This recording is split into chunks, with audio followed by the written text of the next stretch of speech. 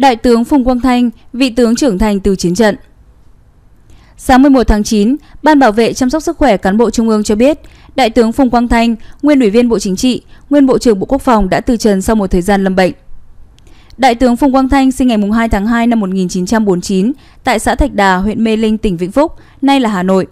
Ông là Ủy viên Trung ương Đảng khóa 9, 10 và 11, Ủy viên Bộ Chính trị khóa 10, 11, đại biểu Quốc hội khóa 11, 12 và 13.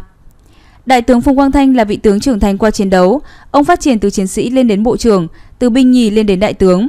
Cuộc đời binh nghiệp của ông là một tấm gương sáng về tinh thần chiến đấu anh dũng, kiên cường, ý chí và nghị lực vươn lên.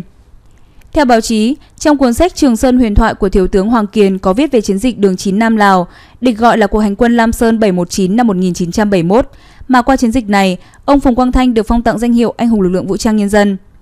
Theo đó, ngày 30 tháng 1 năm 1971, cuộc hành quân Lam Sơn 719 của địch đánh vào khu vực đường 9 bắt đầu. Hơn 4 vạn quân chủ lực ngụy quyền và 6.000 quân Mỹ, gồm những đơn vị tinh nhuệ nhất với số lượng lớn binh khí kỹ thuật. Quân giải phóng đã mở chiến dịch phản công quy mô lớn. Ông Phùng Quang Thanh đã tham gia chiến dịch này. Ngày 11 tháng 2 năm 1971, Phùng Quang Thanh là trung đội trưởng trung đội 1, đại đội 9, tiểu đoàn 9, trung đoàn 64, sư đoàn 320, trực tiếp chỉ huy một tiểu đội chốt giữ đồi không tên. Địch dùng một đại đội có máy bay yểm trợ, chia làm hai mũi tấn công chốt.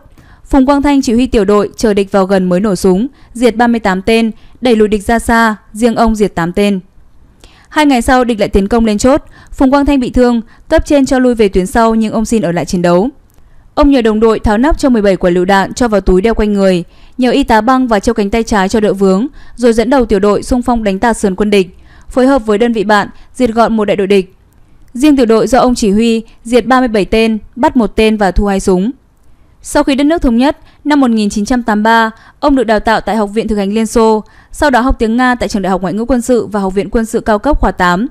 Từ năm 1989 đến 1991, ông là học viên Học viện Vorosilov, Bộ Tổng tham mưu Liên Xô, sau đó là học viên tại Học viện Quân sự cao cấp.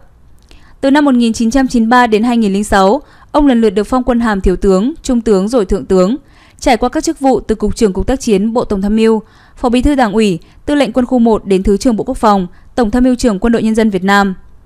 Tại Đại hội đại biểu toàn quốc lần thứ 10 của Đảng năm 2006, ông được bầu vào Ban chấp hành Trung ương Đảng, được Trung ương bầu vào Bộ Chính trị và phân công làm Phó Bí thư Đảng ủy Quân sự Trung ương, Bộ trưởng Bộ Quốc phòng.